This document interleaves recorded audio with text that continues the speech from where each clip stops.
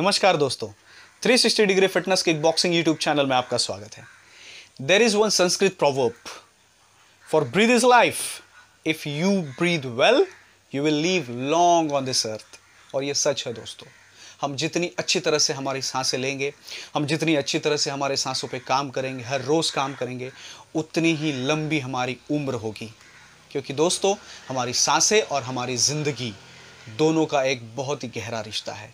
दोनों एक दूसरे से बहुत ही गहरी तरह जुड़े हुए हैं। इसलिए हम अगर सांसों पे काम, अच्छी तरह से काम करते हैं और हमारे सांसों को मज़बूत करते हैं, हमारे सांसों को काबू में करते हैं तो हमारी ज़िंदगी भी लंबी होती जाएगी। तो दोस्तों, पहले वीडियो में आपने देखा होगा डायनामिक ब्रीदिंग की फ़र्स्ट टेक्निक मैंने आपको सिखाई और उस टेक्निक में लंबी साँसें नाक से लेनी है और लंबी साँसें नाक से ही छोड़नी है और वो डायनामिकली करना है। और ये जब करोगे आप तो ये एक एक्सरसाइज आपको 36 टाइम करना है। इफ़ नॉट 36 टाइम तो आपको 30 टाइम्स तो एटलीस्ट ये करना है और इसके तीन सेट कीजिए।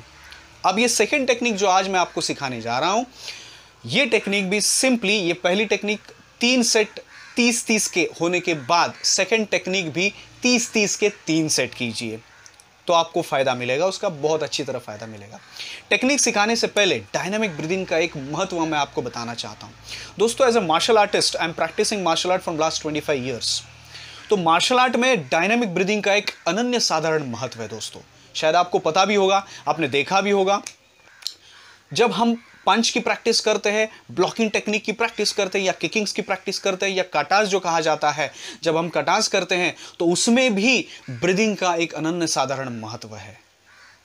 या हम कोई भी एक्सरसाइज करते हैं, जैसे जिम करते हैं, या तो फंक्शनल ट्रेनिंग करते हैं तो हर एक फ़ंक्शन में आपका breath in and breath out inhalation and exhalation बहुत ही ज़रूरी होता है। तो दोस्तों ब्रीदिंग का एक अनन्य साधारण महत्व हमारे लाइफ में है, हर एक मूवमेंट में है, हर एक फ़ंक्शन में है। तो फ़ंक्शन फ़ंक्शन में हमारे साँसें भरी हुई है। ऐसा कहने के लिए कोई हर्ज नहीं है दोस्तों। तो दोस्तों, शुरू करते हैं हमारी सेकेंड टेक्निक डायनामिक ब्रीदिंग की। अब इस टेक्निक में आपको लंबी सांस लेनी है नाक से और लंबी सांस छोड़नी है मुँह से। तो मैं आपको करके दिखा रहा हूँ, मेरे साथ कीजिए। चलिए, शुरू करते हैं। तो दोनों हाथों को आप रिलैक्स रखिए।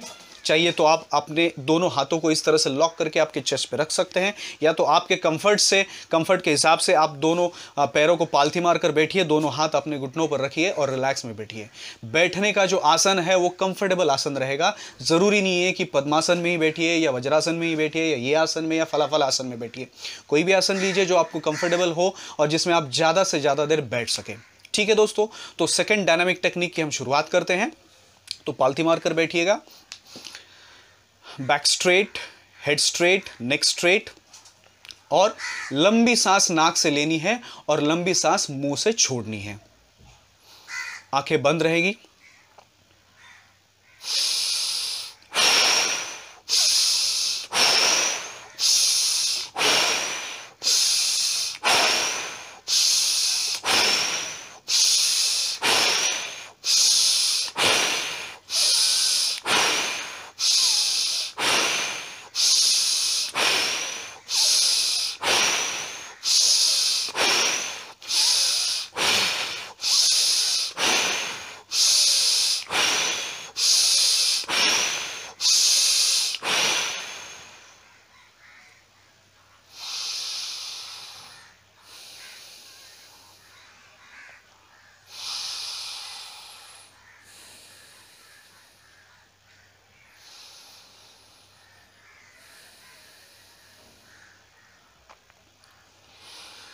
तो दोस्तों, इस तरह से लंबी सांसों को नाक से खींचनी है और लंबी सांसों को मुँह से छोड़नी है।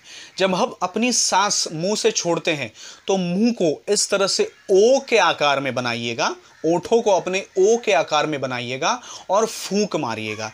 जैसे हम कोई मोमबत्ती बुझाने के लिए कोई फूंक मारते इस तरह से हमें अपने ब्रीदिंग को लंबी साँसें जब हम अंदर खींचते हैं तो छोड़ते समय ओ बना के लंबी सांस बाहर छोड़नी है। और जैसे ये तीस बार खत्म हो जाता है, एक दो तीन बार आराम से लंबी साँसें लीजिए, जो आपको रिलैक्स करेगी। और फिर थोड़ी देर बाद 20 या 30 सेकंड बाद, दूसरी बार चालू कीजिएगा। तो ये एक थर्टी टाइम्स आपको करना है। जो पहली टेक्निक है, उसको भी तीस बार करना है, तीन सेट अब ये जो आज मैंने दूसरी टेक्निक सिखाई है, उसको भी तीस बार करनी है, तीन सेट नंबर का ऐसा कोई गणित नहीं है। या तो आप पूछोगे कि 36 बार ही क्यों करना है 30 बार ही क्यों करना है। अगर आपकी कैपेसिटी बढ़ जाती है तो आप 40 बार भी कीजिए 50 बार भी कीजिए 100 बार भी कर सकते हैं। लेकिन पहले अपनी कैपेसिटी बढ़ाइए। स्लोली स्लोली आपको पता चलेगा, वो स्ट्रेंथ आपकी बढ़ती जा रही है, आपके लंग्स की कैपेसिटी बढ़ती जा रही है, और आप में बहुत अच्छा सुधार आते जा रहा है। आपके हेल्थ में, आपके माइंड में पॉजिटिविटी आने जा, आ रही है। तो स्लोली स्लोली ये सारे बेनिफिट्स आपको दिखाई देंगे। हार्ट से भी बहुत हेल्दी आप फील करोगे, यानी अंदर से भी फिट होने लगोगे, क्योंकि इस एक्सरसाइज से सारे शरीर में ब्रेन से लेके पूरे शरीर तक ऑक्सीजन रीजनरेट होता है। हमारे बॉडी को हम रिजुविनेट करते हैं री एनर्जाइज करते हैं दोस्तों। ये एक अनन्य साधारण ऐसा डायनामिक ब्रीदिंग का महत्व है। सो दोस्तों, ये रोज कीजिएगा, हर रोज कीजिएगा प्रैक्टिस शुरू शुरू कीजिएगा, क्योंकि इस लॉकडाउन में आपके पास बहुत सारा समय है। सो दोस्तों आज के लिए इतना ही।